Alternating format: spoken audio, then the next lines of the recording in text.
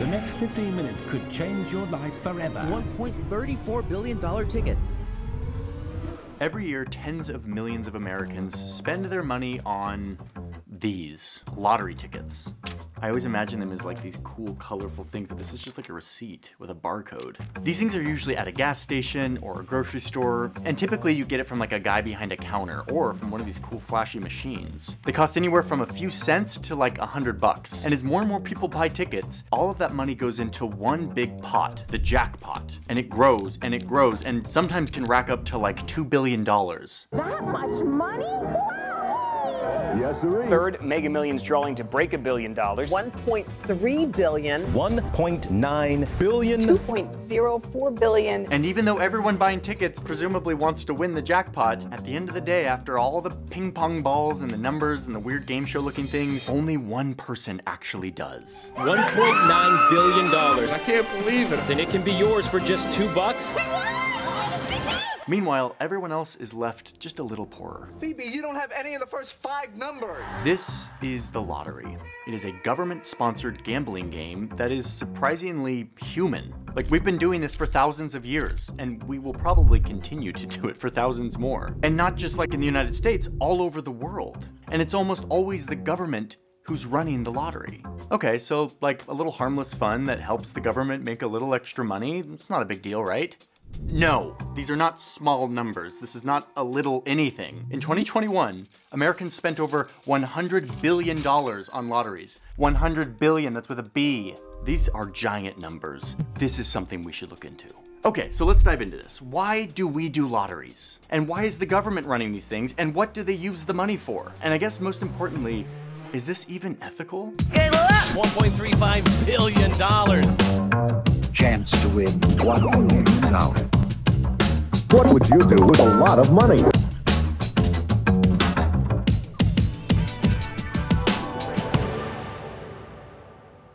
Record shattering $1.34 billion ticket. I can feel the winning ticket. I'm fairly certain this is the winning ticket. Humans are big on gambling. We've been doing this for thousands of years. 40,500,000 all in. First versions of a lottery was over in China. It's rumored that they actually used the lottery to fund some of the Great Wall of China. Oh, and after they like chose the numbers, the results are said to have been delivered by carrier pigeon. The Romans, the Dutch, and a bunch of other governments over time and throughout the entire world have done lotteries to usually fund big projects that the government wanted to do. In England, they also loved lotteries, and the settlers who wanted to come here to the New World used lotteries to help fund their trip. Eventually, the monarch of England was like, whoa, guys, wait a second. Don't use your extra money to fund lotteries that make you leave us. Use your money over here. Taxes were kind of a sensitive topic for England. But anyway, the colonists were like, all right, bet. Bet? Like bet? You know, like bet. Like bet. Bet. Bet.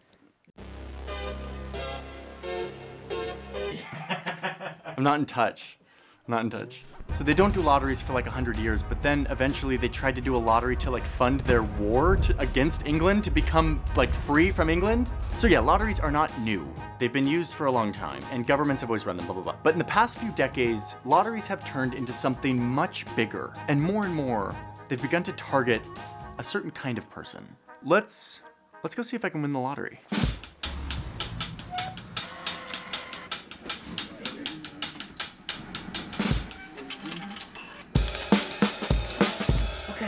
Just spent two US dollars on a lottery ticket. Let's see what happens. The jackpot for this one is 20 million bucks. Seems like a pretty good deal. There's this one lottery called the Mega Millions. It's where a bunch of states put all of their lotteries together into one giant lottery, which means way more people, which also means a way higher jackpot, which then attracts more people, and then it's just like the greatest thing in the world for the lottery. Okay, wait, but why does the government run a gambling scheme that incentivizes people to like spend their money on gambling?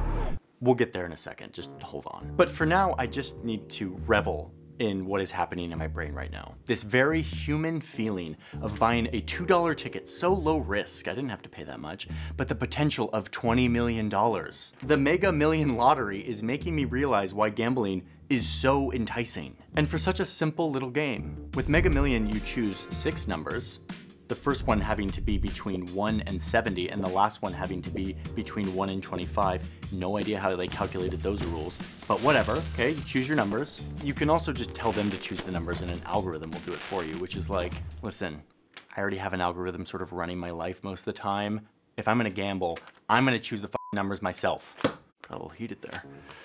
Anyway, eventually a bunch of balls go into this little spinny thing and they choose the numbers. And if they choose my numbers, I win $20 million. So at two bucks a ticket, we can infer that probably millions of Americans just did this. They went out and bought a ticket like this with hopes of changing their lives. Oh, and this isn't just like once a year or something. This is twice a week. They'll hopefully be drawing my numbers tomorrow night and I will be watching. Anyway, let's get back to the explanation. I got a special feeling tonight, Marianne. Not for me. No, no, no, I think our numbers might come up. So here in the US, you've got a bunch of these big, mega, multi-state lotteries, and they're all run actually by the same nonprofit organization. But then you also have these. You've got these little just instant winners. Like, like I could scratch this off right now and see if I win. 10 chances to win? We have to do this right now. Where's a penny? No, seriously, we got it. We got to do this. Up to 5,000 bucks. Wait a minute, this has to be a joke. What does that say? says one thousand dollars, but I don't know. There's no way. How's it work? Oh, sh- no. You might have to get like three of them. Yeah, I think. Oh, reveal a. Oh, see. I don't know how to gamble. I was like, I just won a thousand dollars. 19, 24.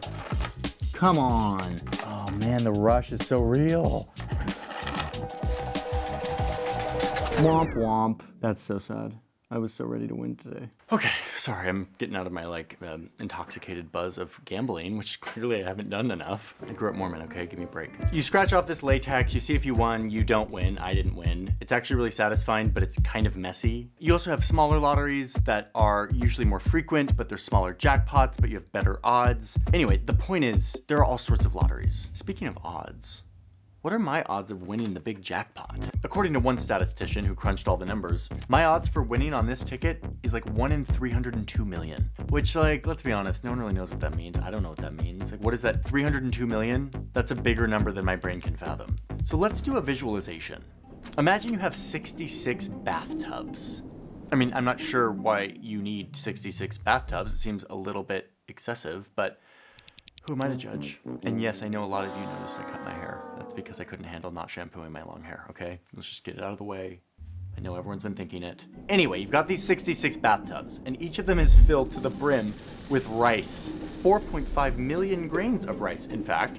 How did we calculate that number? Go to the sources. We actually did an analysis to see how many grains of rice would fit into these bathtubs. 4.5 million. So you've got 66 bathtubs and they're all full of rice. And one of those grains of rice is painted gold. Now, close your eyes, walk through the field, and thrust your hand into one of these 66 bathtubs and pick out a grain of rice, and maybe you found the golden grain. But yeah, those are my odds of winning tomorrow night. Not as fun to think of it like that. And this works even if you buy a ton of tickets or use the same numbers over and over again. None of this really does anything meaningful to change your odds. Mr. Beast did this great video a while back where he bought a million dollars worth of scratch off tickets and lost about 300,000. Okay, so we're done with this part of the video. The lottery exists, it's big, you'll probably lose, we all know that. My bigger question here is why does the government have a monopoly on this gambling game?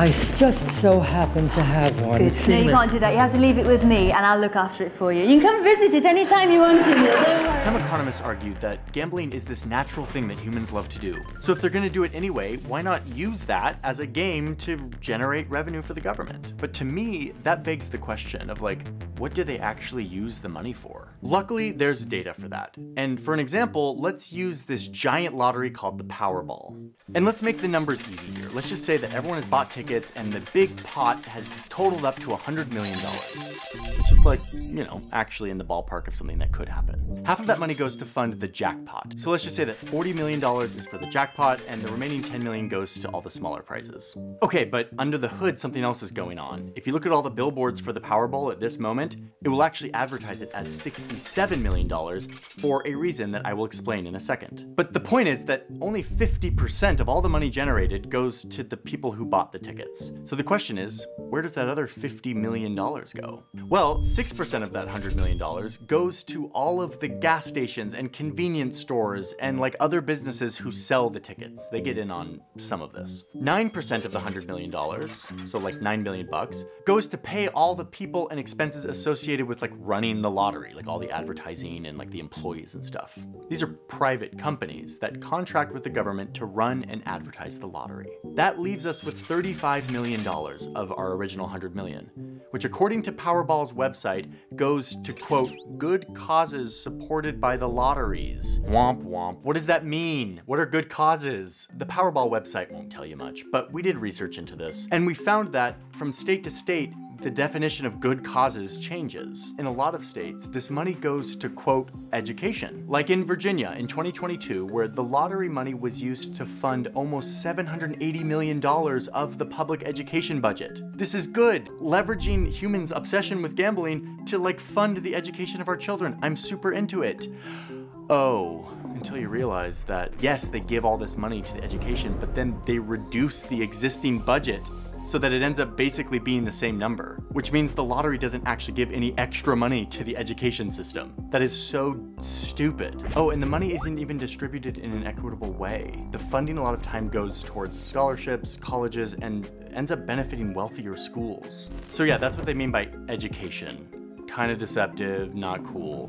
But then there's other places where the lottery pays for things that we take for granted that probably never would cross your mind, like in Colorado, where the state spent $14 million on their parks and wildlife in 2019, using profits from the lottery. Or Nebraska, where they used the money to fund like their state fair. Like who would have guessed? Oh, and this is a good one. In Minnesota, they've spent over $51 million of lottery profits to fund organizations that help people who are addicted to gambling. Like what? Like we're using the lottery money to help people not gamble. I don't know. That I mean it's just that one's a weird one to me. Okay, so governments use lottery money to do government things, build infrastructure, fund public programs, and stuff like that. Cool. Okay, wait, but why does the government have to collect money in this weird way? We'll get to that, I promise. But in a sec, I know everyone's wondering about what happens to the winner. He's gonna have over $114 million! Wow! How does that sound? These lucky ducks who just walked into tens of millions of dollars. Like, how much am I gonna get tomorrow night when my numbers are picked? Just sort of manifesting, you know? In our little scenario, remember that they had advertised $67 million and that really it was $40 million that was allocated to the winner. How does that all work out? That is because when you win the jackpot, you can get it in two different ways. You can get it all at once, or you can get it slowly over the course of 29 years. If you get the cash all at once, then the government immediately takes out 24% of federal taxes. And then of course the state will get their taxes. So like here in DC, it's like 9.75% that's taken off. So even though you were advertised $67 million, the actual jackpot was the 40 million. So really you walk away with about 26 million bucks. The reason it was advertised as $67 million is because of the other option. If you take it slowly over the course of 29 years, then the government holds onto that money and invests it in like bonds and it gains interest. And they project that over that time, it will actually be a total payout of $67 million. That also gets taxed a bunch of ways and whatever, and eventually you end up with about $43 million if you do the overtime. So 26 million versus $43 million, depending on if you take it all at once or take it over time. The point is that once again, even with the winner, the government makes a lot of money off of lotteries. And this is the number that should blow all of our minds. The US federal and local lottery revenue in 2020 was around $27 billion. $27 billion in government revenue because of the lottery. And this is kind of where it feels a little messed up, because I thought we already had a way of funding the government. Isn't that just called taxes? Look, we got the Powerball Wow, you think we should get that over 20 years or go for the big payout? Hello, America. I'm John Crow. It is Tuesday, January 17th. Okay. And $20 million. To win the jackpot, you must match these five Whamos plus that gold mega ball. Now, see if I can make you a millionaire today. Ah, I already lost. This. Back to the video. So now we can answer this question. Why does the government run a gambling scheme? And it boils down to this. Lotteries were illegal in the United States for a very long time. Public opinion was very against them. But then in the 60s, New Hampshire needed money.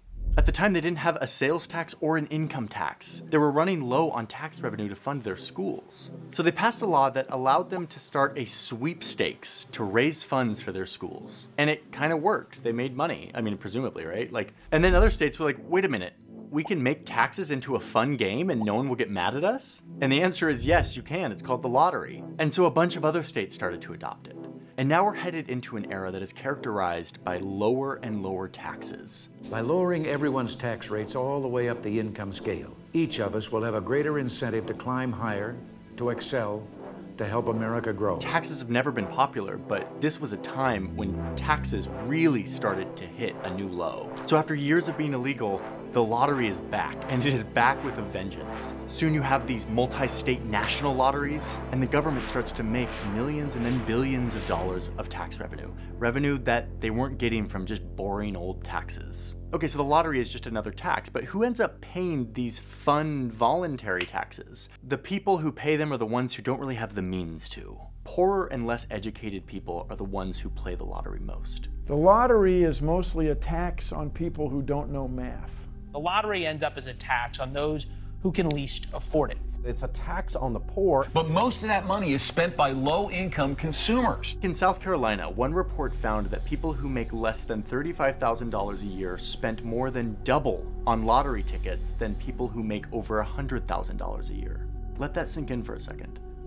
Double. They also found that people of color are more likely to buy lottery tickets than white players. One study found that in almost every state, whether it's by design or not, neighborhoods that have lottery retailers have a higher poverty rate than neighborhoods that don't have lottery retailers. Remember, this is the free market. These retailers are following the demand. So yeah, you start to see a picture of the government using the desperation of those who are less educated to generate revenue that they don't get from boring old regular taxes. And then I think the moment that actually gets me here is that that money, that revenue goes to fund things that isn't often beneficial to the poorer communities that bought the tickets and paid the taxes.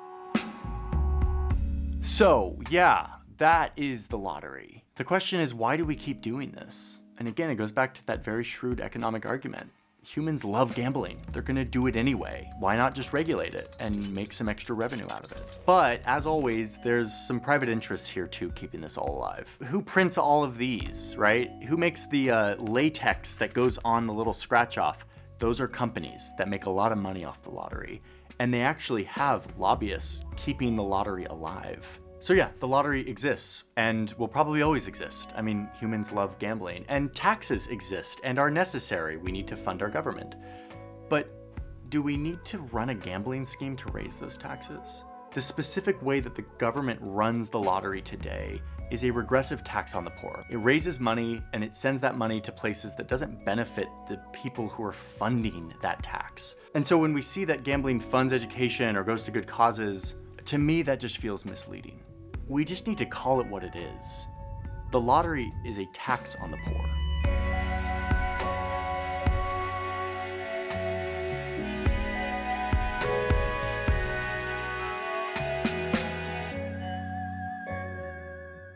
All right, another video is in the hopper. The lottery. What is Hopper not cool? Thanks for watching, everyone. Um, I want to tell you about a few things that I need to tell you about at the end of the video that you may be interested in. Number one, it's no longer just me. I mean, it hasn't been for like years, but like we now have a large team of people who contribute to making these videos. And we have a behind the scenes vlog that we publish once a month over at the newsroom. The newsroom is just the fancy way of saying Patreon, but newsroom just sounds way cooler, so we call it the newsroom. Every month we publish a behind the scenes vlog. We have my scripts are over there. You can read the scripts and see what those look like if you're interested. You get a royalty free Tom Fox song, and you get the warm, fuzzy feeling of supporting this channel and the journalism that we're trying to do. The link is in my description. You can go check that out. Um, another way to support that might be helpful to you is like we have LUTs and presets. LUTs are how we color our video. Without a LUT, it looks like this. With a LUT, it looks like this, much better. We developed these LUTs with a professional colorist, and they're really pretty. You can buy those and help support the channel, and also color your photos and video much better. You can go watch my next video, like right now, like it's actually live, um, over on Nebula, because we publish everything a week early on Nebula, ad free. So go to Nebula using the link in my description. If you use the link in my description, it actually helps support the channel. So, like, do that. If none of those things are interesting to you and you're still watching this, I have to ask you, why are you still watching this? Like, why are you still here when you could be watching some other cool video on the internet? Answer in the comments. See you later. That's not the interactivity of like, oh shit, why am I still here? cut that, cut that, cut that. Who am I?